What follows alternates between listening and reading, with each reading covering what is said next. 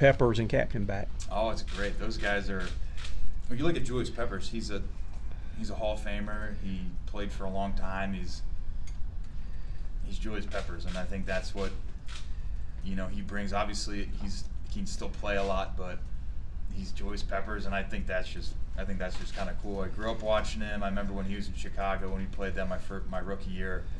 I'd never met him. I never seen him. I wanted to make sure that like I walked by him. So to see how big he was, and so I got a chance to do that. Now he's on our team, which is really cool, and um, and I got to play with Cap my first two years, and he's a fun guy to have out there. He's physical. He's got an edge to him, and then um, those two guys are gonna be good for us. I you know I like having both back. I like having Captain back because I liked playing with him the first two years when I was here, and then obviously having Julius back just adds kind of that.